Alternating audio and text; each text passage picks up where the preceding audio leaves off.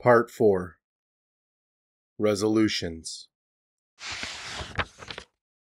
I now view my long road as a search for truth, truth in my own heart, in the world around me, and in the larger questions of purpose and of existence. How does one define good and evil? I carried an internal code of morals with me on my trek, though whether I was born with it or it was imparted to me by Zaknafein or whether it simply developed from my perceptions, I cannot ever know. This code forced me to leave Menzo Menzoberranzan, for though I was not certain of what those truths might have been, I knew beyond doubt that they would not be found in the domain of Lolth. After many years in the Underdark, outside of Menzo Menzoberranzan, and after my first awful experiences on the surface, I came to doubt the existence of any universal truth, came to wonder if there was, after all, any purpose to life, in the world of Drow, ambition was the only purpose, the seeking of material gains that came with increased rank.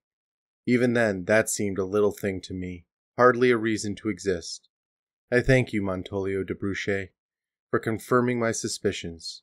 I have learned that the ambition of those who follow selfish precepts is no more than a chaotic waste, a finite gain that must be followed by infinite loss.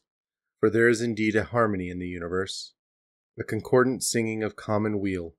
To join that song, one must find inner harmony, must find the notes that ring true. There is one other point to be made about that truth. Evil creatures cannot sing.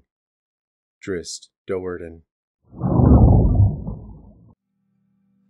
Thank you for listening. I hope you enjoyed this rendition of R.A. Salvatore's Sojourn, Part 4 Resolutions.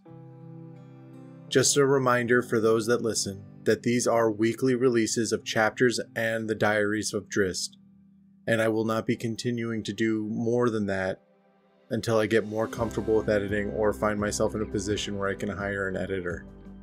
I appreciate you guys listening, and I hope to see you back here on the next one.